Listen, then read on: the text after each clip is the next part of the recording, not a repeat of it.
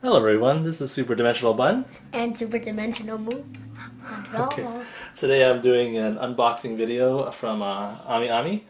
Um, let's see, I, I ordered this box uh, on June uh, June 2nd and uh, today is June the 17th. So it's pretty good, a little, about two weeks. Um, it's a little quicker than I expected. Usually uh, shipping time to the US takes about three weeks, but uh, this one came a little early, so whippy, yippee. So anyway, let's go ahead and open this up. I hope there's popcorn inside. I know you hope there is. What would you do with the popcorn? I would make fruits. Fruits? Uh-huh. Instead of of the other popcorn that I made last time. All right. So, Hope there's popcorn. Hope there's popcorn. what's in here? Oh, Yeesh. yeesh. What's this? I don't know. Are these the people who work there? I don't know. Okay, as usual, they will insert a little, tiny little poster. Okay. Crazy. And, uh. So, um, I guess the main reason I go to Ami Ami is that they have uh, pre-owned products. So, and usually at a cheaper price. So let's get started. So, here is my first Gundam. It is the Asshimar.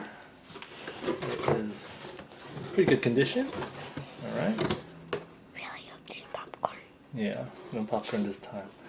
Um, this is the Flying Donut. Flying donut? yes. Flying donut! And then this is the one brand new uh, item I purchased is uh, the VF25. Ooh. It's not really brand new, but it's not pre-owned. Let's just say that. Um, Daddy hasn't gotten it yet, nope. but now he has it. Yeah. So uh, first and foremost, I am a Macross fan, so that's that. Please don't have as many models. And last but not least, there is the Zeta Plus C1. So this is an old kit. There's damage to the box. Paper! Yes. But um, I wanted this kit. That has nothing on it. Like this. Okay. And a little crushed, but we'll see how good the condition is inside. Um, Score! so, alright, well, anyway. So originally I ordered like four kits, but then um, the shipping cost was way too much. So uh, I emailed them, and they kindly enough uh, they took out one kit, and um, my shipping charges were dropped. So anyway, so that was that's that's a pretty good thing. Um, I, I you know I, I'm grateful for them for uh, you know doing that for me. You know they didn't have to.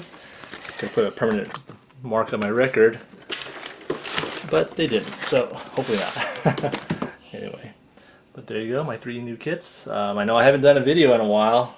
Been pretty busy with work and vacation. So Me too. Yep.